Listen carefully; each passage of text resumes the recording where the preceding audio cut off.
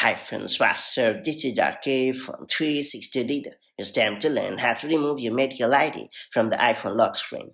Apple's Health app allowed you to set up and use a medical ID. By default, anyone can view your medical ID by tapping on emergency and selecting the medical ID on the lock screen. While this is a life-saving feature without any doubt and can be immensely helpful in emergency situations, some of you might want to hide the medical ID due to privacy concerns. If that's what you are looking for, let me show you how it's done the quick way.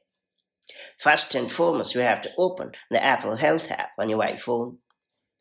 Now tap on your profile at the top right corner of the user interface.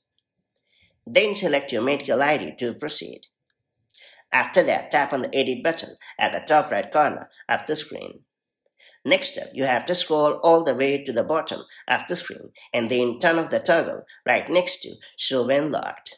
Finally, make sure to tap on the Done button at the upper right corner of the user interface to confirm the action and you are good to go.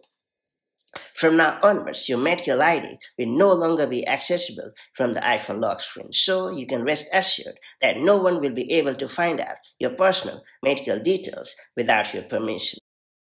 Later, if you ever happen to change your mind and want to show the medical ID on the iPhone lock screen, all you have to do is go back to the same setting and then turn on the toggle right next to show when locked and that's about it. So that's how you can easily hide or show your medical ID on the iPhone lock screen. If you found this video helpful, do like and share it and I'll see you in the next video with more such handy iPhone tips and tricks. Till then, stay safe and have a good time. Bye-bye.